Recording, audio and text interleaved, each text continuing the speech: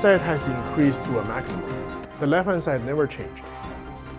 All right, so this maximum and the left-hand side, at that point, everything is equal.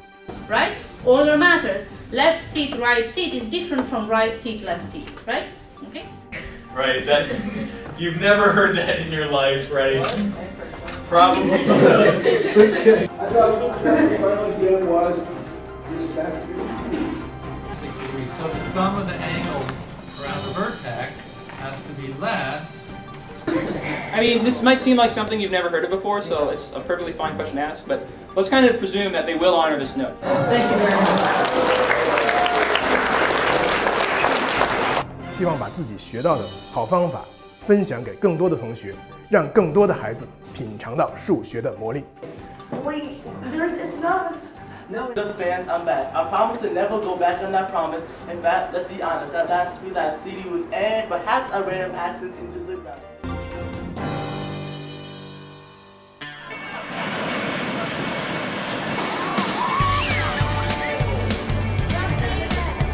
And I found that a lot of the stuff that we did really challenged us beyond our comfortable limits. They pushed us to go further than we've been able to go before.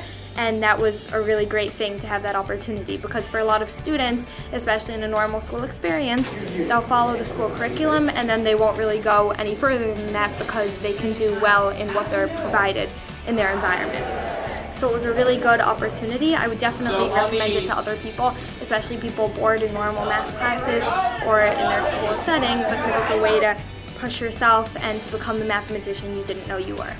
So the basic layout of this camp is in the mornings you go to your first class, um, and this year I was in the black group, so I had Mr. Markin as my teacher, um, and you cover a range of topics. We did number theory, combinatorics, um, some graph theory, some inversion, um, and mainly how it is is that the teacher um, presents some topics on the board and then you're giving a series of problems to work on both in class and after class, and you're guided through them by the teacher.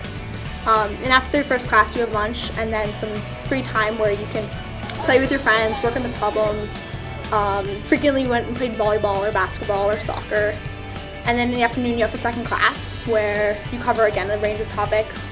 We did more contest prep in the second class. Um, and after the second class, after dinner, you have a time where you can go and work with counselors on problems uh, that you have trouble with, homework, um, enrichment problems, or you can again play games.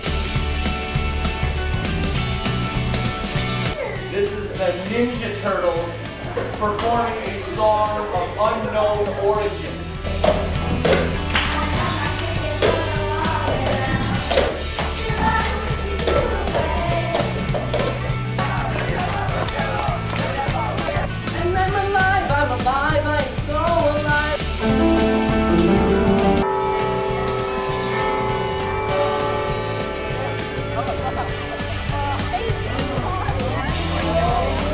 上。